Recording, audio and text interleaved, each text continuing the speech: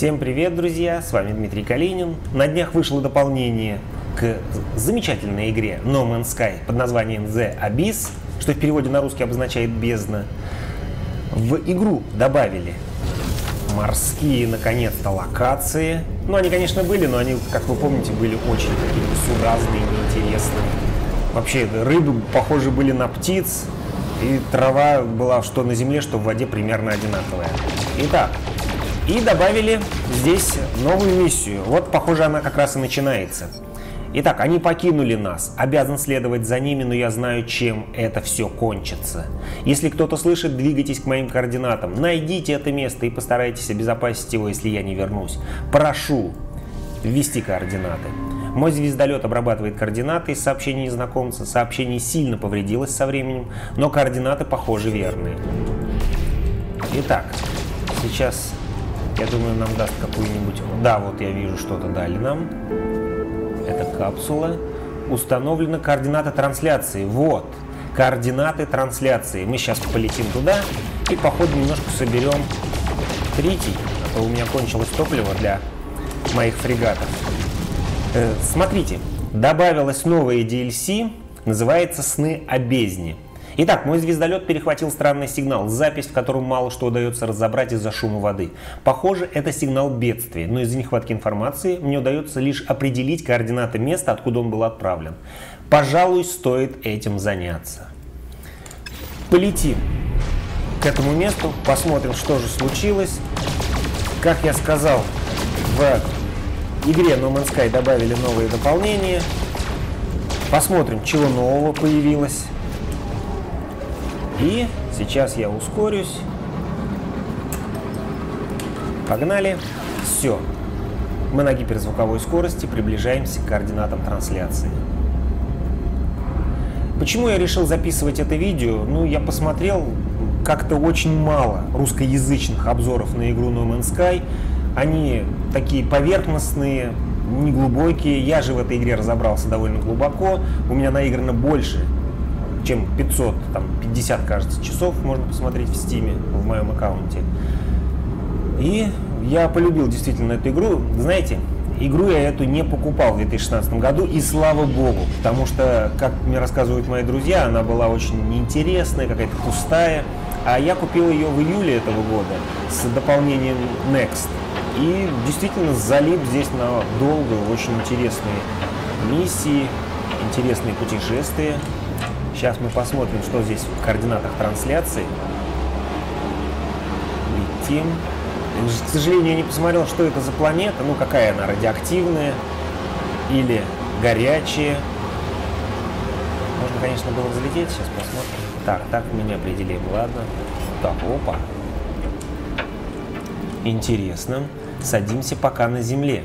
Хотя, как я вам напоминаю, так, бесплатная парковка что это дополнение вносит морские локации. Но начнем, как говорится, все на суше. Угу. Входим в это здание. Новое открытие. Открыл я эту планету. Искаженный голос. Журнал такой-то. 407 солов с момента пробоина. Смотрите, люди жили больше года. Хотя неизвестно, как идет год на этой планете. Может быть, планета вообще не крутится, и 407 солов это там один день. Так, погнали. Если вы это слушаете, значит вы нашли наш последний журнал. Я оставляю это сообщение в память о моих погибших друзьях и в назидание всякому, кто может последовать нашим путем. Где-то в глубине души я не перестаю надеяться, что кто-то меня найдет, но все же, молю, не ищите меня. Знаете, это мне напомнило, как в фильме «Чужой», когда Сигурни Вивер, ну, для того, чтобы на землю к человечеству не проникли чужие, она говорила там, не ищите меня, убейте меня, пожалуйста. Вот это вот тоже какое-то зловещее такое сообщение. Вот, даже написано «Пугающее сообщение заканчивается». Я замечаю, что незнакомец оставил после себя модуль улучшений для аэрационной мембраны. Взять этот модуль улучшений, я забираю его, в служебной истории модуля я нахожу серийный номер корабля и его бывшего владельца. Возможно, мне следует отправиться за ним. Ага, мне дали эсочку, модуль подводной защиты. И если я не ошибаюсь, у меня как раз подводной защиты в скафандре пока еще нет. Я как-то не любил под водой плавать. Так, Да, у меня только радиационные, горячие и холодные. И... Так, у меня что, две радиации, что ли? А, нет, это токсичная, а это радиоактивная. Давайте поставим сюда эсочку. А это очень вовремя. Так, наполняется он чем? Кислородной камерой, кислородом и гелем. Ну, у нас все это есть. Кислород. Все, мы здесь... Ну, что тут еще можно взять? А, в помещении больше ничего нету. Погнали в наш звездолет. Немножко соберем. Ну, уже, не знаю, такая привычка у меня. Если я вижу рядом... Ага, прилетел. Иди отсюда. Не трогай меня. Так, экстремальные условия. Модуль улучшения содержит данные о своем бывшем хозяине. Используйте C, чтобы найти предыдущего владельца. Взлетаем. И ищем предыдущего владельца. Так. След сигнала звездолета установлен, и он находится вот здесь вот. Так, он у нас вне планеты. То есть придется взлетать и лететь на другую планету.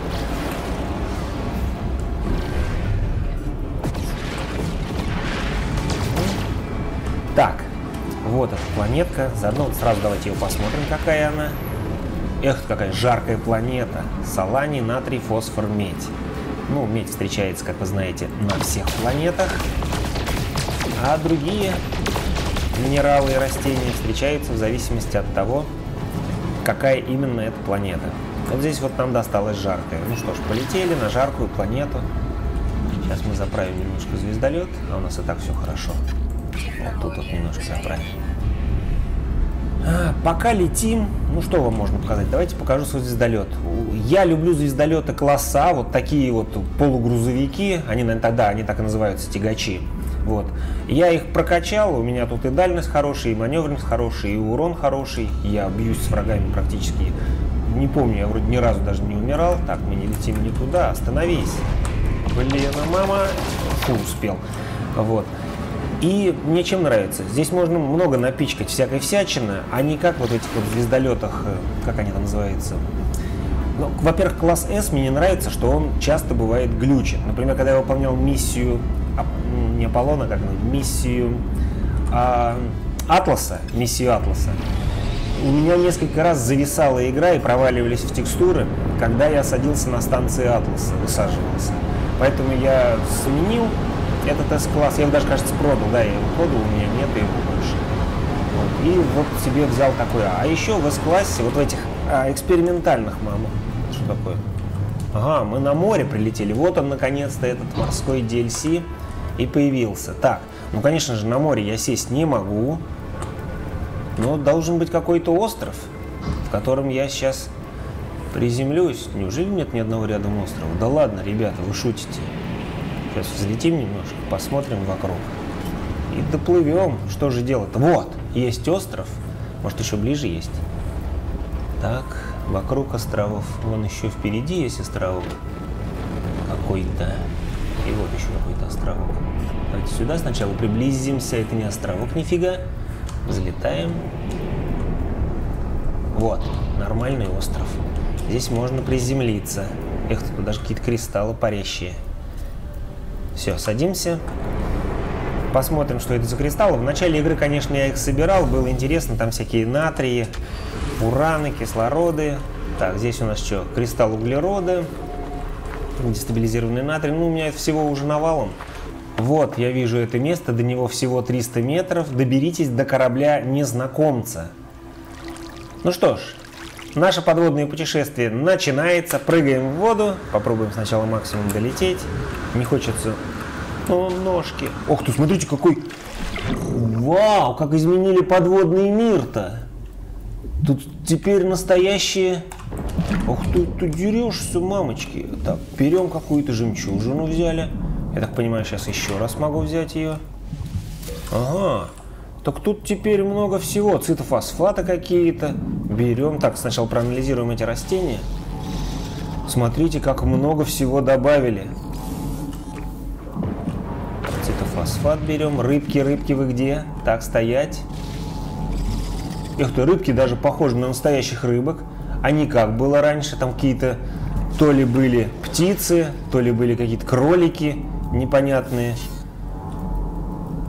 Сейчас все супер. Так, здесь смотрим, что за растения. Наверное, какие-то новые... Кстати, вот цитофосфат я только что какой-то собрал. Мне кажется, его не было. Давайте посмотрим быстро в своем инвентаре. Да, цитофосфата не было, жемчужины тоже не было. Это все добавили новое. Прикольно. Собираем быстро цитофосфаты. Вот. Я думаю, ну, они кусаются, мама. Так, убиваем их. Игру я прохожу впервые вместе с вами, поэтому мне все в новинку, и эти мои настоящие искренние удивления. Не знаю, он, кстати, хоть дорогой или нет, этот цифтофосфат. Нет, он, к сожалению, не очень дорогой. Отстаньте от меня, медузы. Я вас, если вы от меня не отстанете, придется вас убить. Я не хочу убивать животных. Да? Какой ты бессмертный. Соль. Давайте соль соберем. Ферритная пыль. Так. Соль, пыль. И опять они плывут, мамочки мои. Отстаньте от меня, не трогайте. Отстаньте от меня. Блин, это что, подводные наблюдатели, что ли? И все, поплыли искать, что же там наконец-то. О, у меня кислород уже заканчивается. Что-то я сильно увлекся этими какими-то мирами. Но действительно, первый раз, когда вот так опускаешься в подводный мир, он действительно впечатляет. Раньше, помните, какая-то была лужица, там плавало непонятно что. Минералов, конечно же, никаких не было, никаких цитофосфата, критический уровень кислорода, мама. Может, там что-то будет? Какая-нибудь капсула, какой-нибудь батискаф, надеюсь. В рекламе, когда я смотрел, там была какая-то подводная лодка, и надеюсь, сейчас мне ее быстро дадут. Так, быстрее, быстрее, быстрее. Ну а что я туплю-то? Давайте зарядим его кислородом и поплыли дальше. Все, и будем дышать. У нас кислорода мерено, немерено. Ну, пока плывем, соберем этот цитофосфат.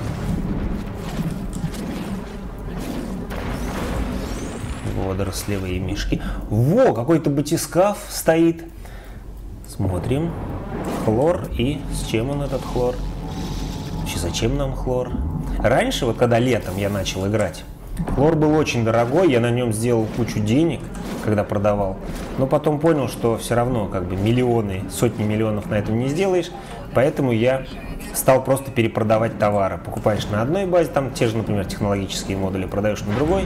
И сейчас у меня ну, почти миллиард этих юнитов. Так, давайте заплывем, посмотрим, что это. Это не батискаф, это какая-то камера. Возможно, это просто кислородная камера. Я знаю, что водолазов. Да, это кислородная камера, здесь можно подышать. Есть такие, действительно существуют кислородные камеры. Но нам интересно... Ого, звездолет какой он? Б-класс, ну, жаль. Не крутой. Так. Журнал такой-то, 4 соло с момента пробоины. То есть это, похоже, самое-самое начало. Там, помните, было 400 с чем-то, здесь всего лишь 4. Угу. Большинство членов экипажа погибло. Разгерметизацию смогли пережить лишь те из нас, кто уже был облачен в скафандры. Нам еще повезло, что малые суда успели отойти пораньше, чем схлопнулся основной корпус. Ни на одном из наших звездолетов нет гипердвигателя. Думаю, мы могли бы извлечь нужные чертежи из базы данных нашего грузового корабля. Правда, он, похоже, погрузился на самое дно океана. К счастью, у нас есть чертежи Наутилиона, почти как Наутилус, Наутилион. Ну, понятно, что это будет подводная лодка. Загрузить чертежи Наутилиона. Ага, нет. Это так же, как вот дали недавно мотоцикл Пилигрим, также теперь нам дают ангар наутилиона. Нужны 5 металлических обшивок. Кристаллический сульфид тоже, кстати, такого не было вещества кристаллического, кристаллического сульфида. Ну, соль, вот смотрите, не зря мы соль все-таки собирали. Так, посмотрим, может быть здесь что-то под водой новенькое появилось. Просто скопление нанитов дают, ничего даже вводить не надо. Вообще, смотрите, локации похоже, что взяли просто земляную, обычную локацию – и поместили ее на дно океана. Кто проживает на дне океана? Так, что у нас тут за звездолет? Это путешественник. Ну, так себе, тут особо брать-то нечего. У меня, конечно, лучше звездолет. И на звездолете не полетаешь под водой, не поплаваешь.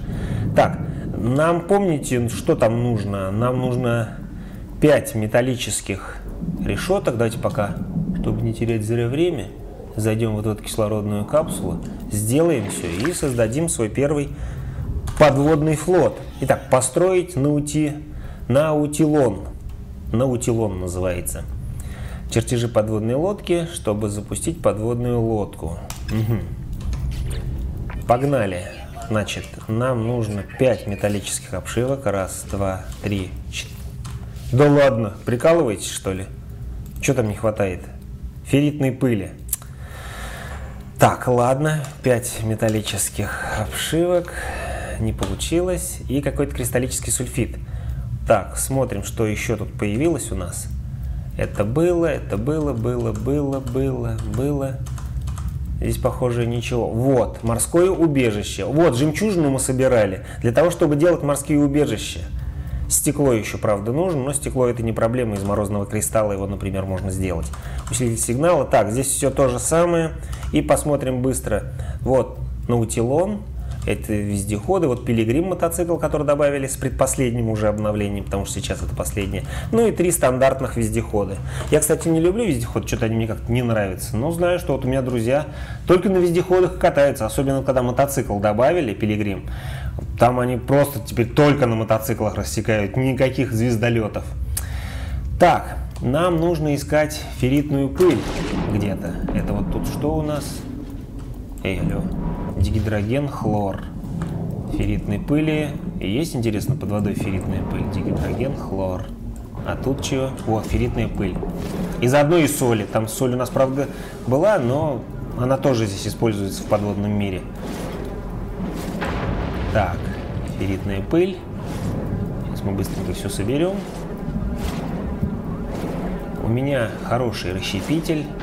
Я слетал на планету, наверное, как вы все знаете. Есть специальные координаты планеты. Так, еще, блин, что так мало ферритной пыли?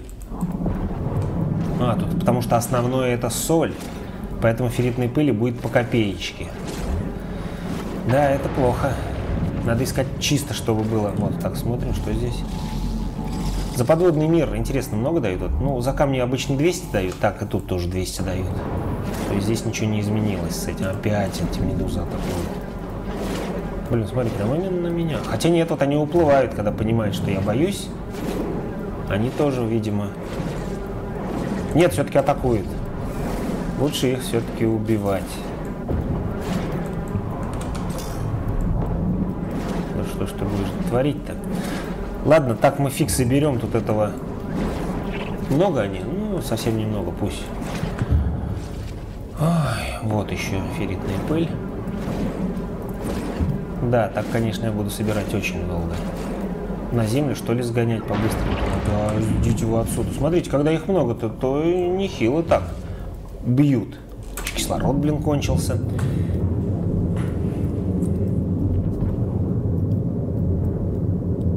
Под водой работает реактивный двигатель. Очень прикольно, конечно. Всплываем.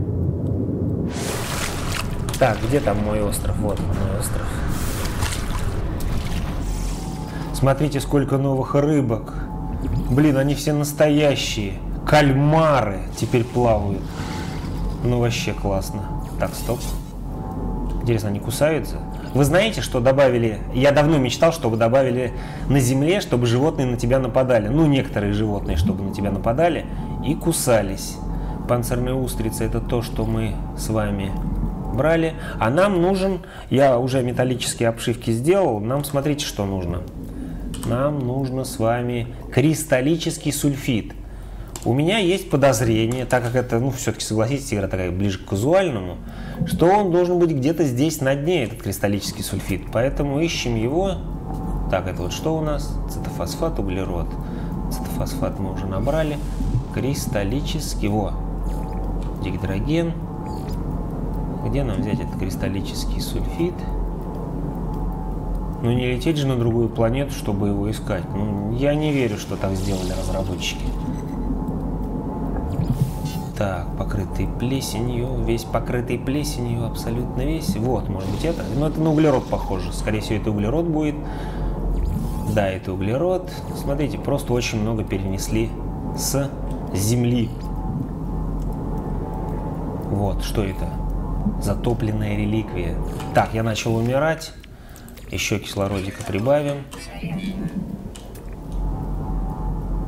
Да где же нам брать-то этот вот кристаллический сульфид-то? Углерод, азот. Во, смотрите, я же говорю, кристаллический сульфид должен быть где-то на дне океана. Так, поплыли туда, панцирная устрица. Так, что это у нас за кристаллический? Ага, вот такой вот, такой вот камень, в котором есть кристаллические сульфидики маленькие. Ну что, землетрясение похоже на что? Мама, меня тут... Да, это какие-то выбросы. Елки-палки. Надо быть аккуратнее, когда берешь кристаллический сульфид. Сейчас мы стрельнем, она откроется, берем жемчужину. А, ну блин, ну, жемчужины тоже панцирные эти устрицы бьют оружие разряженным. Как всегда, стандартно. Следи за оружием, заряжай его вовремя, и всегда будешь жив.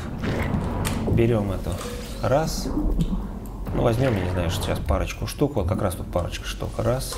Ох, то не успели. Отплываем. А то они кусаются, как вы теперь знаете. И... Тут вот еще где-то был один. Вот он. Давай, давай, быстрее бери. Уходи отсюда, сейчас куснут. Так. Сульфид, сульфид. Или мы, может, уже набрали этого сульфида навалом, чтобы построить? Нет, еще не набрали. Надо 4, а я взял один или два. Два, кажется. Тут, к сожалению, не видно из-за русской локализации. Вон еще вижу. Так, ого. Так, реактивный у меня работает ранец под водой. Прикольно. Ну, какое-то универсальное изобретение. Ученые изобрели, чтобы он мог и в невесомости, и в воздухе, в атмосфере, и даже под водой. Так, раз, нам там сколько еще надо? Парочку, да, вроде этих камушков собрать. Так, тут где-то, я так понял, что вот они, два. Да, раз, два. А, уходим отсюда. Все, как я правильно теперь думаю, землетрясение, да, когда берешь эти камни, начинается землетрясение и сильный выброс энергии горячей. Так, здесь, похоже, мы все уже собрали. Ладно, что тянуть-то? Делаем подводную лодку. Наутилион. Вот здесь вот на горочке. Ставим. Вот наша подводная лодка. Залазим в нее. Угу, фонарики. И она не двигается. А знаете почему? Потому что вот внизу написано «Создайте гидротермальный топливный бак для питания наутилона». Угу, в инвентаре с помощью... Так, погнали. Сейчас мы создадим этот, вот, геотермальный. Что здесь нужно? Соль, как раз мы его собирали. Вот цитофосфат, смотрите, как я интуитивно его собирал. И углерод. Углерод, скорее всего, тоже есть под водой. Создадим этот топливный бак и Ага.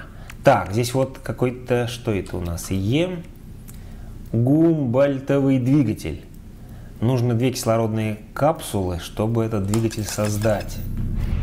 Да, вот заправьте гумбольтовый двигатель, используйте... Так, делаем две кислородные капсулы. Где у нас кислородные капсулы? Вот, кислородная капсула.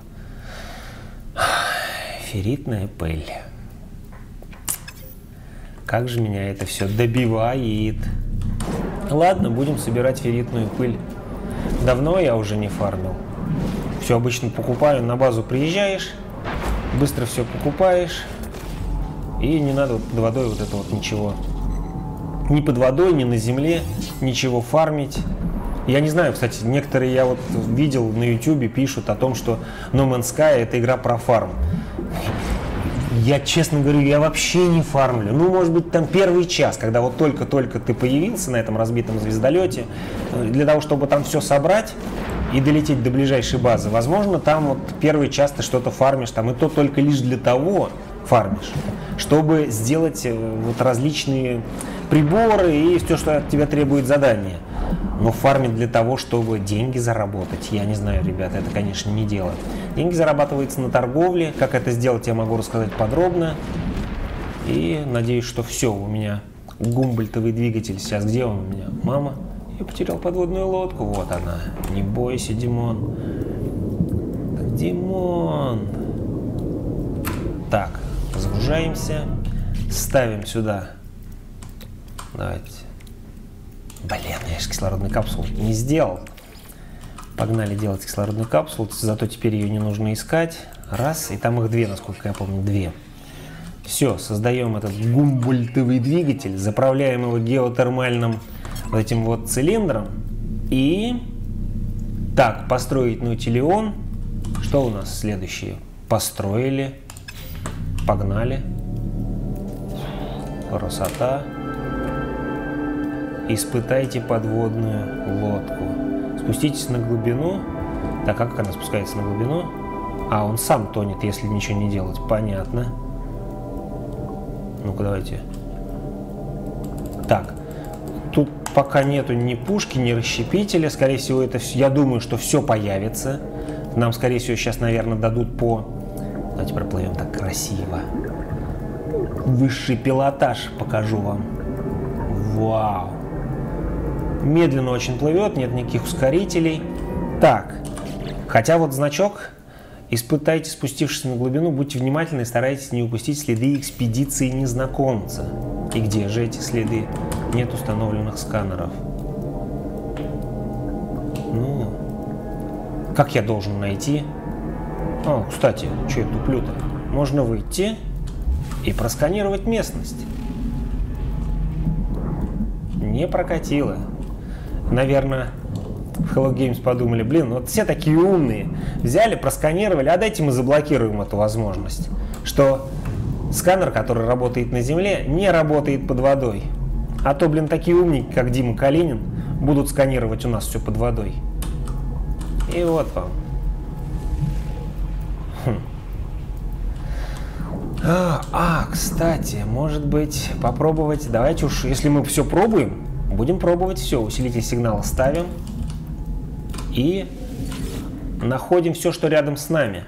Найти строение поблизости. Прокатывает или нет? Давай, давай, давай, давай. Вот, кстати, вижу, что тут мой звездолет недалеко на острове. Не потерять бы его. Да ладно, вы прикалываетесь, что ли? Земные объекты, торговый пункт. Блин, под водой тоже эта фигня не работает. Значит, только подводная лодка, которая у меня куда-то делась. Алло. Опять потерял подводную лодку. Да что ты будешь делать-то? Ищем. Вот она. Да, это еще хорошо, что вода прозрачная. А то, знаете, вот если кто спускался на глубину, например, в акваланге, знает, что на самом деле на дне ну, практически ничего не видно там с фонариками, вот поэтому, кстати, светит свет, чтобы с фонариками хоть что-то видеть. Потому что на глубине в большинстве случаев ничего не видно. Есть, конечно, такие, опа, обнаружен повторяющийся сигнал. Поплыли 4 минуты на этой тарантайке плыть. М-м, блин, что же делать? 4 минуты, плыть реального времени. Я, конечно, это вырежу, но так не делай. Это сейчас будет 4, потом еще 4, потом, может, вообще разработчики подумают, а дайте-ка мы заставим сейчас игрока наслаждаться подводным миром, чтобы он там по 10 минут плыл. Вот я понял, что вот эти редкие камушки, их нужно быстро собирать и отплывать быстрее, а то сейчас землетрясение начнется. Вот. Наслаждаться, вот началось землетрясение, наслаждаться подводным миром. Я знаете, что думаю? Давайте попробуем прикол сделать. Я не буду туда 5 минут почти плыть. Я сейчас вернусь на свой звездолет, долечу до туда. Скорее всего, там будет рядом остров. Потому что вот сколько я не летал по таким планетам, у меня уже опыт большой, всегда есть какой-то остров где-то посреди океана. Мы долетим туда эти 4 минуты за секунд 10-15. Нет, смогу, ну конечно залечу. Интересно, батискаф, что если наземный? Нет ничего, к сожалению. Ух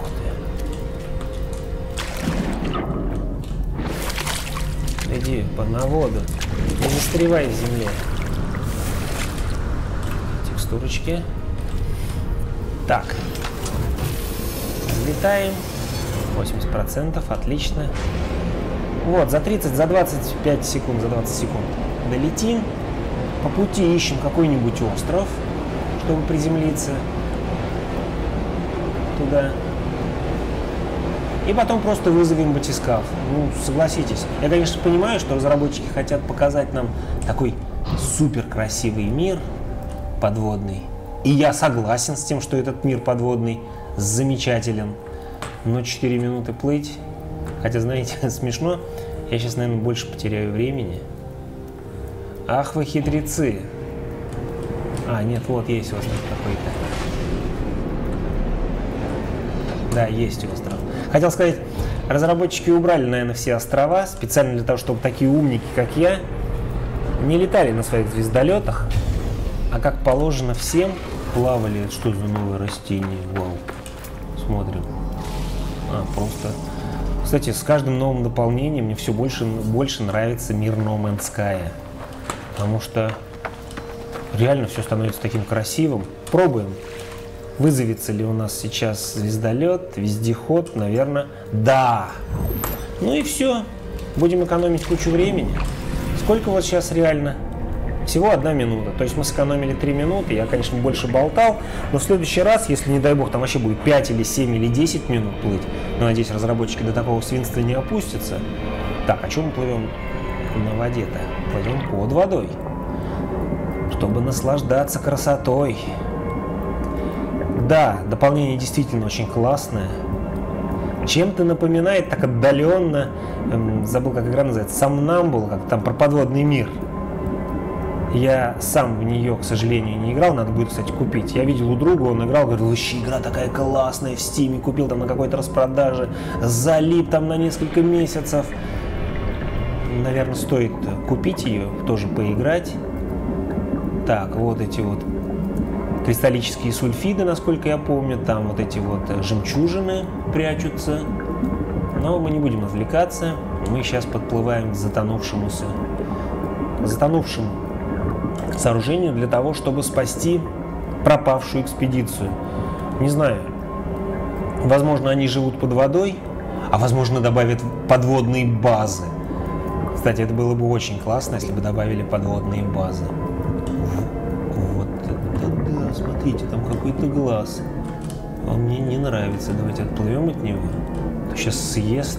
У меня просто уже привычка, я тут играл на перманентной смерти, сделал самое редкое достижение в игре, то есть я до перманентной смерти прошел через центр галактики. Поэтому у меня уже такая привычка никому не верить. Я даже сейчас приготовлю пистолет, если этот что-то со мной будет делать, Придется в него стрелять. А он как раз у входа стоит. Так, это явно сделано для того. Глубинный ужас. Застрелить его нужно, смотрите. К тому же слово ужас. Ну давайте застрелим. А, он в панцире. А, понял, надо в глаз стрелять. Он закрывает глаз только в момент от... Так, глаз, интересно, что-то стоит? Гипнотический глаз. И стоит он, живая жемчужина, вот, 57 тысяч. Ну, как, так же, как и яйца этих чужих примерно так же. Ну, сейчас мне это уже не интересно, но те, кто начал игру, конечно, могут на этих глазах неплохо заработать. Посмотрите, так, каждый глаз по 57 тысяч. Так, смотрим, что здесь нам готовит судьба. Несмотря на повреждения, главный компьютер станции, похоже, работает. Тот, кто был здесь до вас, явно открывал местные записи. Последним действием в журнале компьютера числится загрузка глубоководного сканера. Отлично, мне сейчас дадут его. Но здесь что-то не так. Все временные метки стерты, понять, когда здесь был экипаж разбившегося судна невозможно. Может ли быть так, что при последнем посещении это место еще находилось на суше? Какие были ужасы, как, какие бы ужасы не скрывались снаружи, они явно последовали сюда за уцелевшими. Но что их сюда привело? Разве только что загрузить планы сканера? Ага. Ну вот мне, наверное, так все потихонечку будут давать. Там сканеры, расщепители, пушку, там ускорители и целевой реф рефрактор. Кстати, я его давно искал. Иногда он так бывает нужен, чтобы он прям был под рукой. А приходится на базу летать и его там искать. Так, критический запас кислорода. Что-то это s у меня. Нифига не, не S. Соберите. Что тут еще есть-то хорошего-то? Ну, давайте соберем, пополните запас кислорода. Угу. Во. Ну, я думаю, здесь как обычно микросхема. реликвии геков. Ну, тоже понятно. Так. Установите глубоководный сканер. Да я-то его установлю, если вспомню, где с той стороны, где моя подводная лодка. Хорошо, что у меня-то сканер работает. Сейчас я установлю сканер в подводную лодку, и будет намного проще уже путешествовать. Хотя и очень медленно. Есть, кстати, у меня сейчас вот пришла в голову идея, а что если к этому наутилону, ну, смотрите, какой интересный камень. Ну, вот помните, у нас же был по квесту специальный такой Вайкин, который... А, это обычный панцирный устрица. Берем, отплываем. Вот. Э, Вайкин, который нам вездеходы чинил. Там же сейчас добавили, помните? Кучу всего интересного. Может быть, там тоже есть какие-то улучшения для вот этого вездехода. Раз это обычный вездеход, как нам написали, что это обычный вездеход, значит, у Вайкина должны быть ускорители, там всякие пушки, возможно, даже. Так, ну вот мы сели. А, нужно установить этот сканер. Так, здесь у нас будет вот эта полосочка для двигателя. А вот здесь давайте сделаем, будет полосочка для сканера и всяких... М -м, солевой рефрактор. Вот нам как раз дали кристаллический сульфид, еще один нужен. Делаем солевой рефрактор. Из чего кстати, там делается? Из соли, наверное. Ну да, естественно. И плывем до ближайшего вот. Вот опять эта штука. Подводная лодка классная, только очень медленная. Такая медленная, как водители в нашем городе, которые на зеленый свет стартуют на пятую, там, седьмую секунду. Так, отплываем быстрее, а то сейчас взрываться все начнет. И ставим, давайте, этот сканер, наконец-то, уже. Вот он. Все. Сканер поставили. Так, еще одно задание мы сделали. Приближаемся все ближе и ближе к пропавшей экспедиции. Используйте глубоководный сканер для поиска затонувших сооружений. Включите глубоководный сканер с помощью быстрого меню X. А, смотрите, как интересно. Можно искать под водой разбившиеся звездолеты, можно искать грузовые корабли, так как на суше, только здесь под водой, затонувшие постройки и даже затопленные руины. Ну, нам на что-то было написано, затонувшую постройку какую-то найти. Давайте попробуем. Затонувшую постройку X. Обнаружено затонувшее здание. Где оно у нас? Так. Не понял? Вот оно. Две минуты. Не знаю, что тут быстрее. Давайте быстрее надо все-таки долететь. Заодно всегда звездолет будет рядом. Тем, более плыть почти туда же. Единственное, что я думаю, то когда под водой плывешь, возможно, тебе попадаются какие-то новые приключения, новые квесты, но не знаю. Мне кажется, зная, уже изучив стратегию Hello Games, это будет вряд ли. Потому что даже вот смотрите, подводный мир, да, он стал очень красивый, очень разнообразный, но вот даже вот те же здания, например, мы могли бы сделать какие-то подводные. Вот, они просто взяли то, что было на Земле, различные строения, и переместили их под воду. Мне даже показалось, там кое-где даже трава видна, как наземная.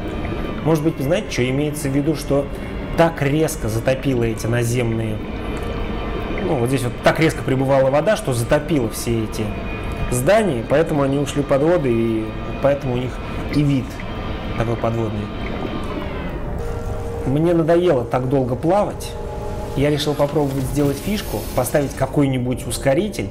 Я сейчас слетаю себе на базу быстро.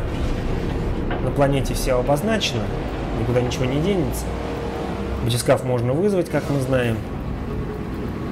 И попробую какие-то ускорители, может быть, там, расщепители. Вот такой лайфхак. Кстати, может быть, с дополнением что-то добавили на базе.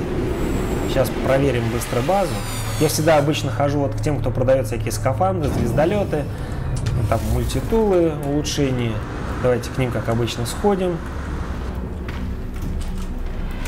Так, стоп, не понял. Раз, два, три, четыре. Четыре! Обратите внимание, теперь стало 4 окошечка, раньше было 3. Кто же из них? Это мультитульный чувак.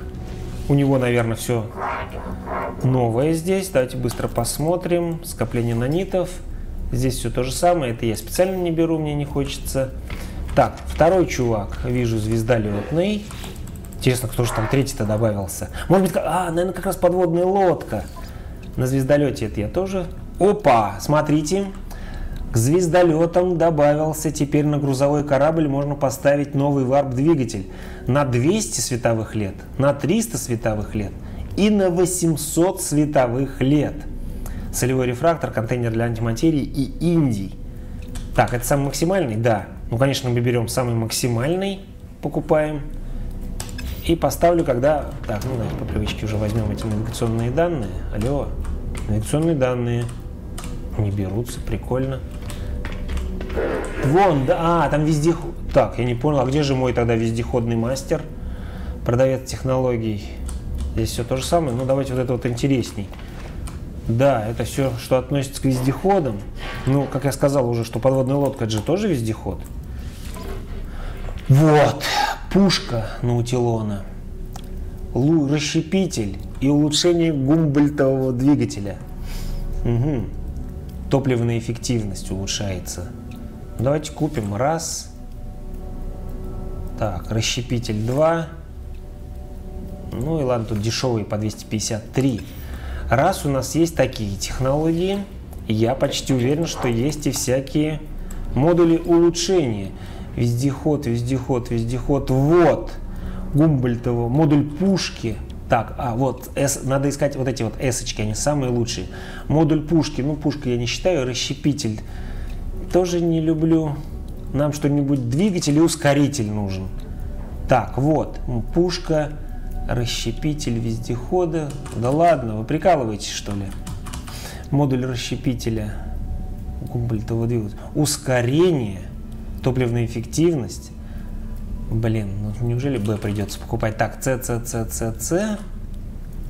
Вот модуль расщепителя, модуль пушки, модуль Гумбольтового двигателя. Блин. А возможно, знаете что? Разные Придется пока Б купить. Давайте пока Б купим, установим тоже все. На разных станциях, я думаю, скорее всего, есть разные модули, так же, как и всегда. Эх, какие тут корабли-то. Смотрим. Это у нас Б, С-29. Всегда люблю такие маленькие. Но у них мало, к сожалению. Так, ну и заодно уж давайте слетаем сюда. Как меня смотри, не за день. Так, что вы тут нам скажете, Корваксы? Предложить помощь? Мне сейчас не до помощи. Я потихонечку уйду.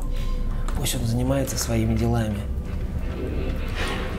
Странники тоже уже не нужны. Блин, слетать на базу, что ли? А, я не помню, где у меня на базе. Ну, вот это вроде самый первый. Этот мастер по вездеходам. Я думаю, у него есть все в огромном количестве. Мы сейчас быстро возьмем ускорители, улучшители, скорость двигателя. Такой лайфхак сразу вам говорю. И будем уже наслаждаться на хорошей скорости подводным миром, не боясь там акул и всяких других животных. По привычке все соберем быстренько. Ну чего? Байкинский идол. Так, анализатор. Кстати, Возможно, что-то добавили еще. Исследование чертежей. Вау! Стеклянные коридоры добавили. А раз добавили стеклянные коридоры, значит и добавили модули для подводного мира, я думаю. Так, снаряжение тоже, украшение. Вот, подводный строительный модуль. Что для него нужно? Чистый феррит. Чистый феррит. Сейчас мы быстро надыбим чистого феррита. Так, а где у меня этот? Алло, ты что, от меня ушел? Вот он стоит, ждет меня. Здорово, мужик. Подскажи мне, пожалуйста, у тебя есть какие-нибудь модули? Обнаружил еще одно интересное место. Ой, знаешь, я рад был тебе сейчас помочь, но у меня там на другой планете, вообще, может быть, даже в другой галактике, ждет пропавшая экспедиция. И я хочу у тебя Быстро модуль гумбольтового двигателя, все то же самое, расщепитель дала. Вот, модуль гумбольтового двигателя S. Ускорение топливной активности и максимальная скорость. Давайте его возьмем. Так, пушка. Нам, скорее всего, так дадут. Давайте хоть что-то оставим для самой игры. Все. Ну, покажу свою базу. Базами я увлекался в самом начале, строил такие большие, красивые, высотные базы. Потом что-то мне надоело, я все снес. И вот оставил себе вот, вот обычную такую базу. Так, кстати, сборщик кислорода, кислород нам сейчас нужен будет. Его постоянно не хватает в этом подводном мире. И азот, атмосферный комбайн, ну что ты не берешь сюда. Вот, берем азот для того, чтобы делать там азотную соль. Хотя сейчас тоже уже стало неинтересно. Там у нас медь собралась. Ну, давайте быстро долетим до меди. Соберем ее. Раз уж мы сюда приехали, на нашу базу, что вообще происходит-то? То быстро все соберем. Итак, мы обратно возвращаемся на нашу водяную планету. Нужно было, кстати, на самой планете тоже быстро какую-то базу поставить для того, чтобы туда быстро возвращаться. Сейчас нам придется лететь на звездолете. Посмотрим. Может быть, тут специальные игроки, э, разработчики предусмотрели что-то интересненькое. Продавайте. А, нам нечего, наверное, продавать. Вот водоросли продадим, они не нужны. Гипнотический глаз, а вдруг он нужен? Да ладно, продадим. Мы еще их 100 штук соберем. Так, мозги. Цитофосфаты, нужная вещь, как оказалось, живая жемчужина. Тоже мы там видели, чтобы какой-то батискаф, что ли, строить, нужно тоже. И все остальное продавать нечего. Теперь, что купить? Уран, парафин, ржавчина, микропроцессорные батареи, кобальтовое зеркало, ферритная пыль. Здесь так много ферритной пыли. Давайте ее возьмем. Кислородные капсулы.